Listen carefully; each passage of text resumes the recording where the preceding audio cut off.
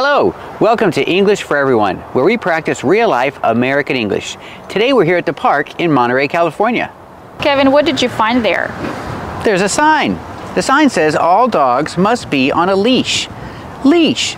This is a leash. So the dog is on a leash. Pronunciation, we see the EA making the long E sound like green beans. Leash. All dogs must be on a leash. Let's talk about this word must. We don't use the word must in conversational English. We say have to or need to. Can you give an example? Your dog needs to be on a leash. Your dog has to be on a leash. But we see must with signs because it's more formal English. There it is on a sign. Hey Kevin, where are we? We're here at the playground and we're going to learn some playground equipment. Let's get started. What preposition do we use? For playground? Yep. We are at the playground. Use at for playground.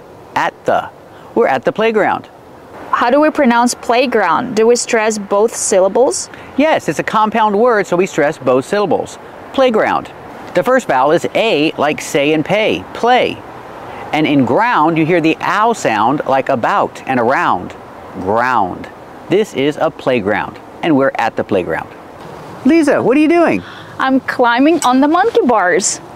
Monkey bars. Yep, these are monkey bars. Can you do it? Is it safe? I'm not sure, let me try.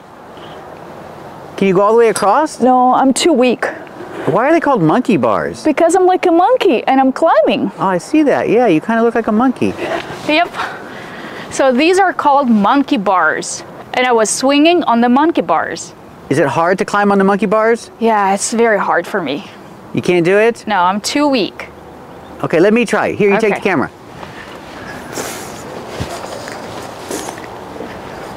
Oh my gosh, this was hard. Let's see if you're stronger than me. Oh, this is hard. Can Kevin, see my what are you doing? Can you see my belly? yes, you can. I'm not doing that then. okay, let me try this. Oh, You're back? Ah. this is easy. You're cheating, Kevin. Maybe Emily can climb on the monkey I can't bars. do it. With you this. I got Well, oh, you- oh, you're supposed to go that way. Yeah. We didn't do it right. Okay. Come on, Emily. All right, she's climbing on the monkey bars. Come Does on, she look- Emily. does she look like a monkey? I don't know. She did it! Good job, Emily. Hey, Kevin, what did you find there? This is a ladder. It's a playground ladder, but it's still a ladder. And it has these things. Ladders always have these things. What are they called? They're called rungs. This is one rung of the ladder. Rung. Use the short uh like cup and up. Rung.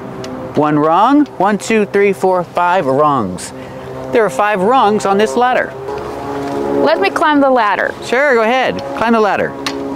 Okay, it's pretty easy. Do you climb on the ladder or do you just say climb the ladder? Climb the ladder. You climb a tree, you climb a ladder. No preposition on. So you don't say climb on a ladder, just climb the ladder? That's right, I climbed the ladder. What did you find there, Liza? This is a slide, and I'm gonna go down the slide. All right, let's do it. Okay. Here we go. Go down the slide. Ta-da! So I went down the slide. We say go down the slide. In the past, went down the slide. Did you go down the slide? Yep, I went down the slide. Was it fun? Not really. I think I'm too big for it. I think so. Kevin, what are you doing? I'm balancing. What are you balancing on? I'm balancing on the balance beam. This is a balance beam. That's what it's called because you balance on a balance beam. It's difficult, but it's easier than the monkey bars. That's true. How do you pronounce it? Beam. So, beam is a word we use for big pieces of steel like this. They're called beams. And we use the long E sound like green beans. Beam. This is a beam, a metal beam. And because you balance on it, it's called a balance beam. I balanced on the balance beam. You did a great job. Thank you. What are you doing now? Well, I, don't, I guess you're supposed to jump on these. But if you jump with your feet together like this, that's hop. That's a different kind of jump. So you can hop on these pedestals. on these little things, these little stools. Hop. How do you pronounce it? Hop. Use the short ah sound like stop and hot. Hop. Hop in the present, in the past, hopped. I hopped on this pedestal. What do bunnies do? Bunnies hop. Just like that. We found some different equipment. This equipment is designed for two to five year olds. Kids that are two to five years old. What do you call them? They're called toddlers. This equipment is designed for toddlers. How do you pronounce toddler? The first syllable is the open ah sound like hot and stop. Ta, toddler. Toddler, it's two syllables. One toddler, two toddlers. Small children. Small children are called toddlers. Can we say two equipment, three equipments? No, the word equipment is not countable. I cannot say one equipment and two equipments. It's just equipment. That's why I say the equipment is. It's singular. The equipment is designed for toddlers. What if I want to count it? If you want to count it, you can say a piece. This is one piece of equipment. This is one big piece of equipment. But I cannot say this is a big equipment. I have to use the word piece if you want to count it. This is a big piece of equipment. What can toddlers do here? Well, they have different activities. For example, here we have drums. Kevin, can you play the drums? Yes, I can play the drums. Remember, the is optional. I can say I can play the drums or I can play drums. So both are correct. Both are correct.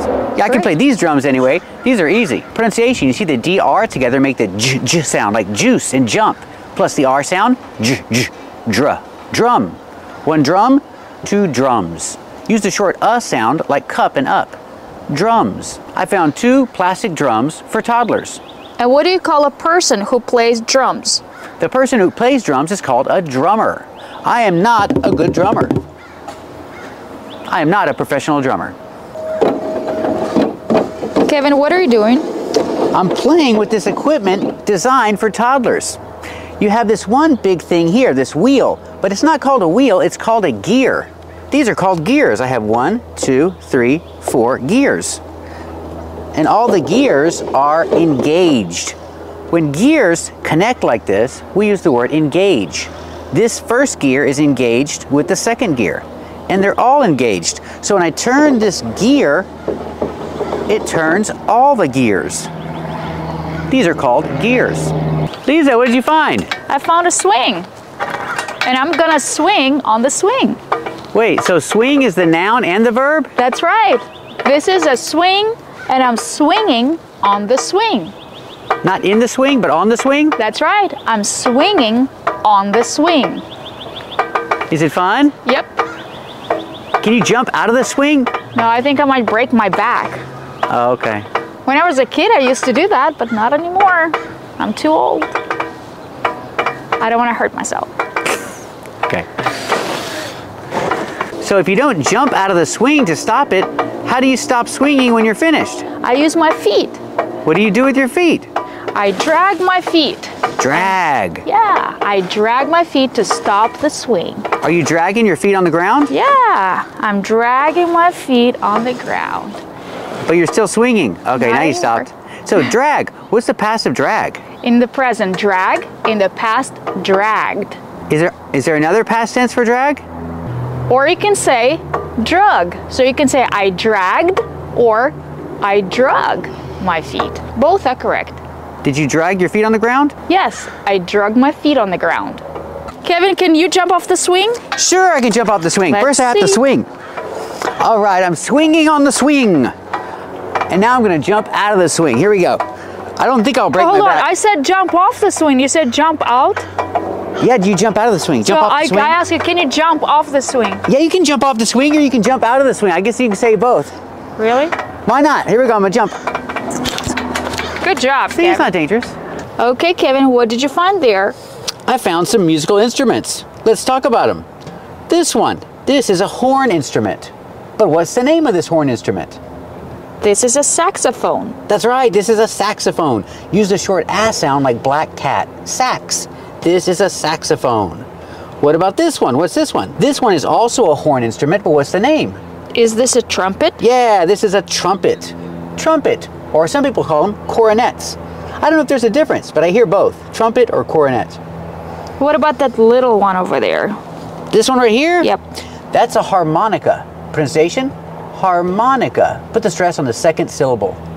Har, like car and far, har. Mon, like hot and stop, mon. Harmon. Harmonica. The last syllable is the short sound uh, like cup and up. Harmonica. This is a harmonica. Can you play the harmonica? Yeah, I can play the harmonica. Not very well, but I can play it. This is a harmonica, and this is a bugle. A bugle is like a trumpet, but there are no buttons. It's called a bugle. They play it in the military. Bugle, use the short U, like unicorn and uniform. Bu, bugle, bugle. This is a bugle, and I don't know how to play a bugle. What about the French horn? Oh yeah, this is a French horn. This is called a French horn. French, like something from the country France. French plus horn, because this is the horn. That's why it's called a French horn. This is a horn instrument, and this is a horn instrument, because I have this thing called a horn. And this thing is called a French horn. Is there another horn instrument? Oh yeah, this one. This is a horn instrument too. And this is called a trombone. Put the stress on the second syllable. Trombone. This is a trombone.